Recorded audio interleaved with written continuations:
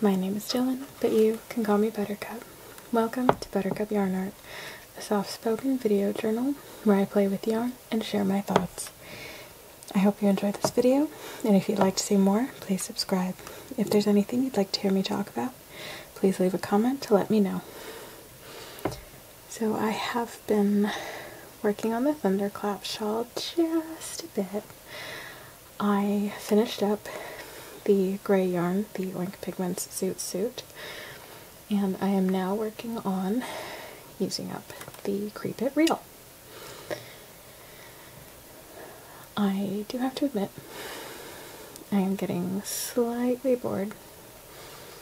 You know, I want to do other things. I want to be finished with this show. You know, it's not that I don't want to finish it, it's that I want it to already be finished. I want to have it already.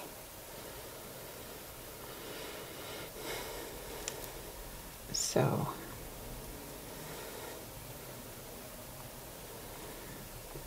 you know, it's. I'm excited for it to be done, and I'm excited for the next projects I have to work on.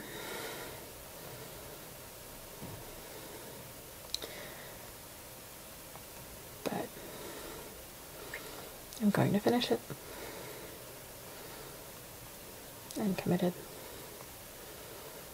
Um, once my yarn comes in for the sorrel sweater, I will be shifting focus to that because I am doing the knit along for it.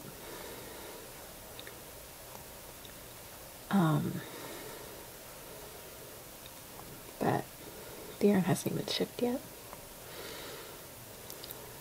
So for now, I still have this to work on, and that's what I'll do.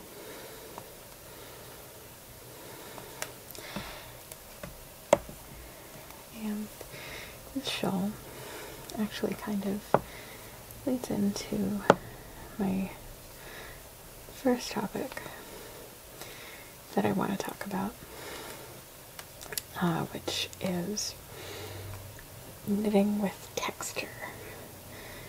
You know, stitch textures and visual textures and all of that. Um, I was at a virtual knitting meetup recently. Um, and the group uh, running that meetup is currently focused on a lace knit along. And you know, they talk to me, they like ask me, you know, well, why, why aren't you doing this lace knit along? You know, why, why don't you want to do it? And I told them I don't like doing lace. I don't find it fun. And, you know, they were like, really like asking, oh, why don't you like lace? What about it? Don't you like, is it this, is it that? It's, it's just, it's kind of everything. Um, it's about lace, you know. And then they ask, well, what, what, what do you like to do if you don't like lace? What kind, what kind of things do you like to knit? And I told them I like texture. You know, cables are a good example of that. Um, the Zoot Suit section is a good example of that on this shawl. It's a garter rib. Really interesting texture. Um, yeah, it has a really interesting feel to run my fingers over, to look at. Um,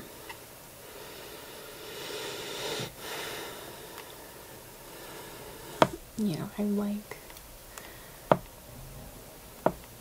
that kind of stuff. I like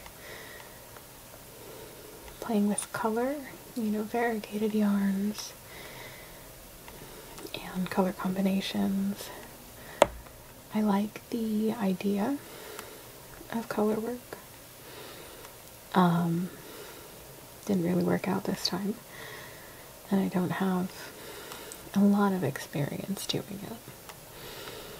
Um, but I like the idea of it.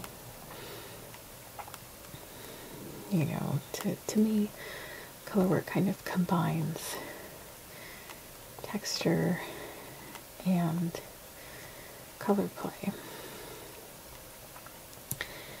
It's more of a visual texture than anything, especially on the wrong side, but you know, it is kind of playing with texture in a slightly different way. Um,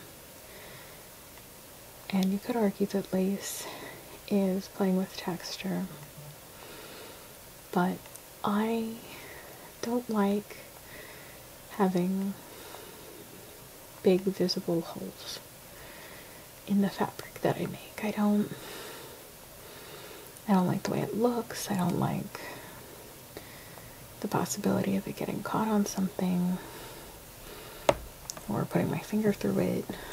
I don't really like that. Um, you know, I've done a couple of lace things.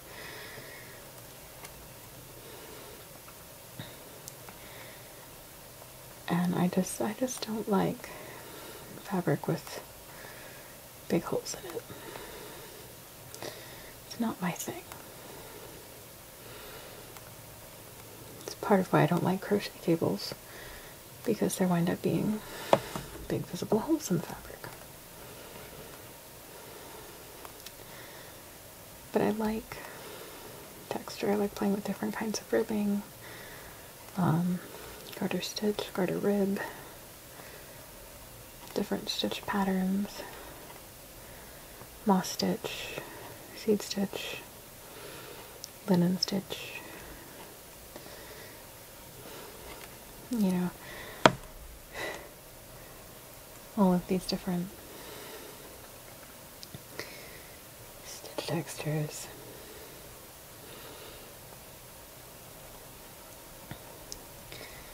They all give a different feel to the fabric, different look, different vibe.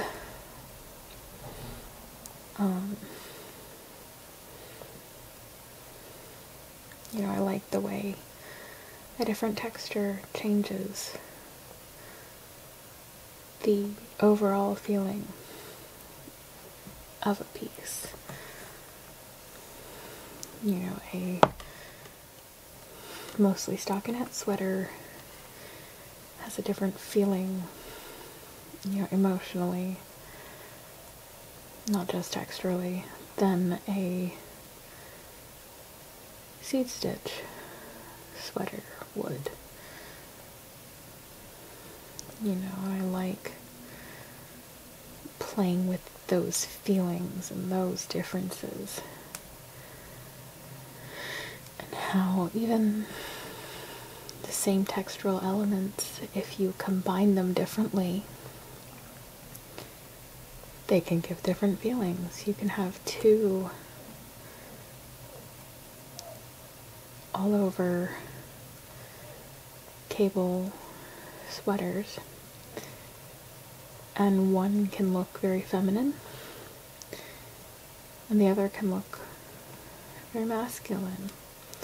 For example, you know, and they can have completely different feelings, even though theoretically they're very similar in terms of technique and texture. Um, know, I like that. I like the idea of working with that, that kind of thing.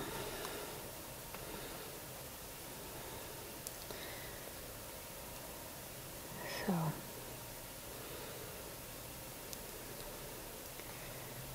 it's something I want to do more of. Um, the sorrel sweater will be really good for that with the dip stitches. Um, you know, I have several patterns in my queue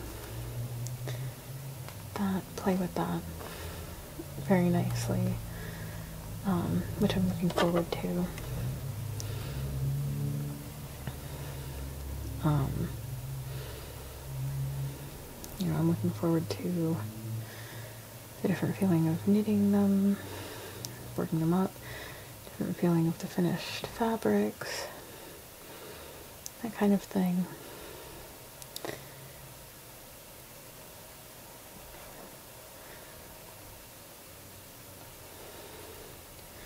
Let's not drop any stitches after we've come so far.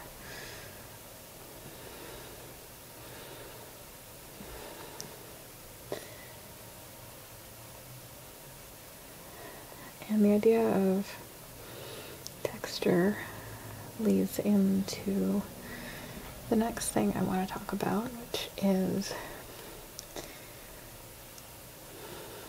kind of controversial, depending on who you ask. And that is um, knitted socks versus crochet socks. And kind of my history with socks because one of the next few projects that I'm planning to make is a pair of socks. I have a few pairs of socks in the queue. Um,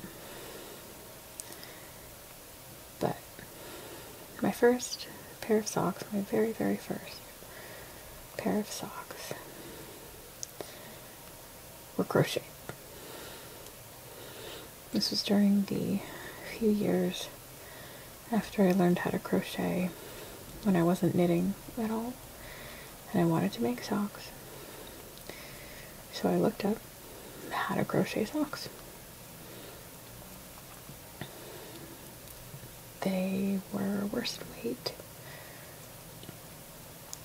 acrylic, and not just acrylic, Red Heart Super Saver. So these were just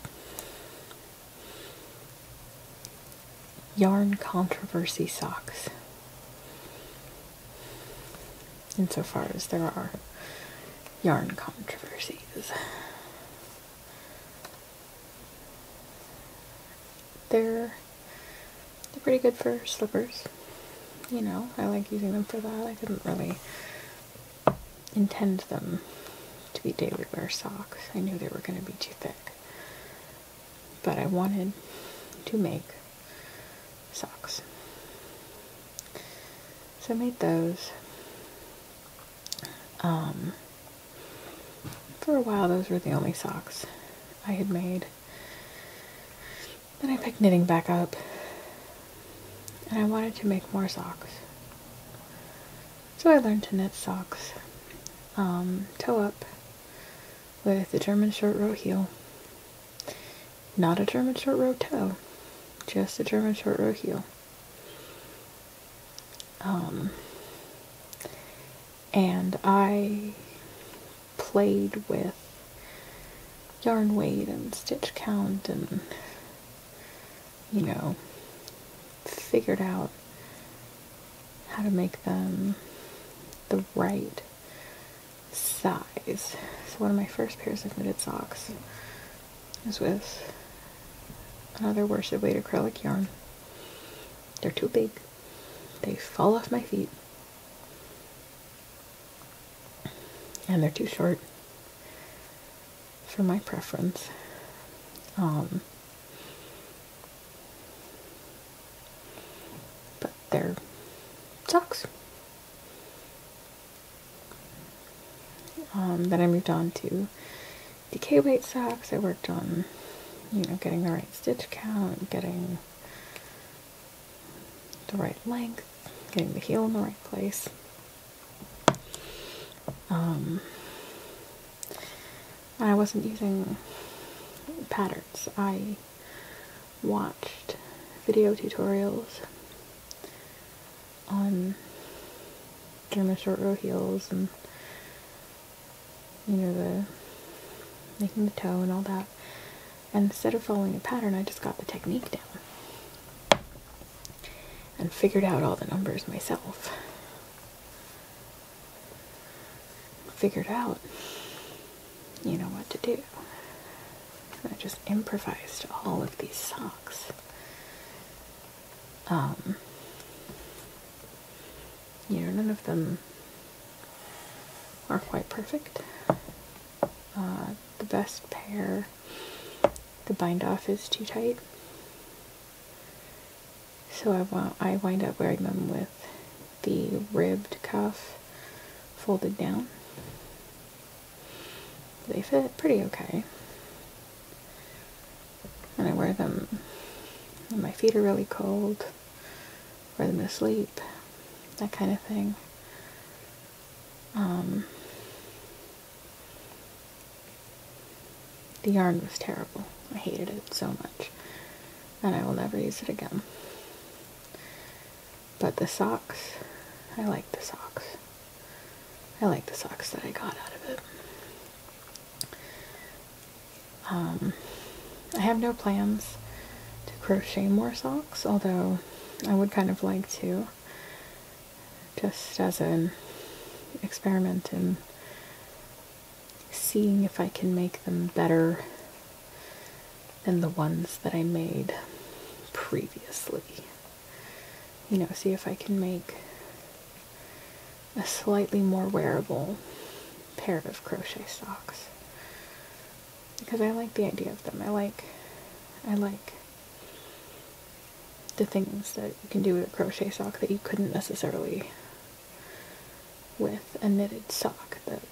The fabric is more stable, so you can make you know more of a slipper, more of a slightly structured sock than you could with a knitted sock um, you know, more dimensionally stable rather than stretchy. So I guess I'm, and I guess it's kind of more like a slipper, but I just I want to I want to play with crocheted socks the way that I did with the knitted socks. Because I found playing with the knitted socks, playing the stitch count, the foot length, the cuff length, all that. I found that really interesting and creatively inspiring. And I want to do more of it. So, maybe one of these days I'll get around to doing it. Um,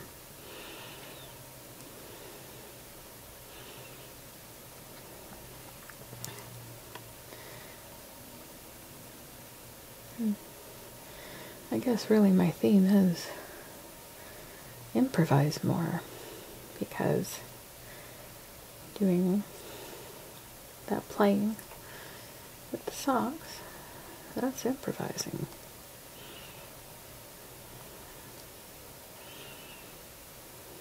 Really would like to do a lot more of that.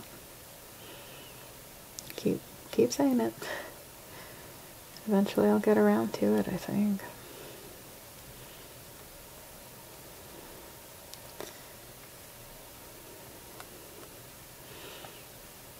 And there was a good while there where I did nothing but socks. That was fun. I enjoyed that. I enjoy making socks. Knitted, crocheted. I just enjoy making socks. Mm. Seriously, no dropping stitches. Stop it.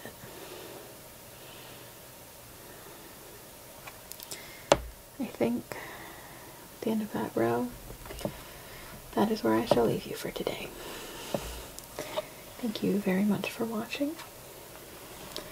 I hope you enjoyed this video, and I hope that you have a wonderful day. Thank you.